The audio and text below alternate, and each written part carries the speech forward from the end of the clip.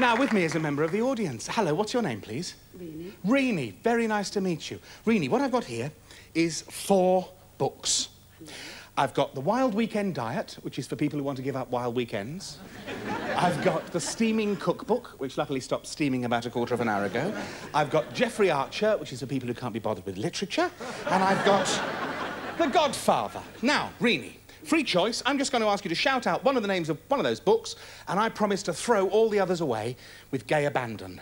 So, which one do you want? The Godfather. The Godfather, Reenie, is yours. What I'm going to do, I'm going to make you an offer you can't refuse. What I'm going to do, I'm going to flick through the pages of the book like that.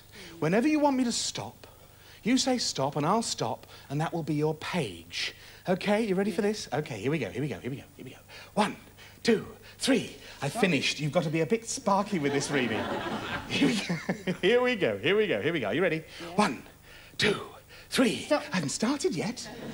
here we go, Reenie. One, two, three. Stop. That's lovely. Now then, will you shout out the number of the page that you stopped at, please? 143. 143. Now, that was a free choice. It really was, wasn't it? I'm going to ask you to hold on to the book for dear life. Make sure I can't get at it. Hold on to it mm. tight, tight, tight. Watch very higher than that, higher. Watch very, very carefully. Watch, watch. One, two, three. Now watch. Because you won't want to believe this.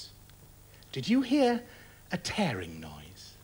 You should have done, because in my hand, you see, is the page of a book, Reenie.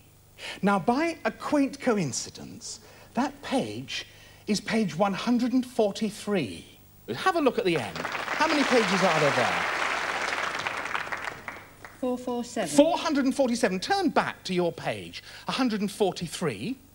And will you tell me, Reenie, do you notice anything a little bit unusual about that page now? You do.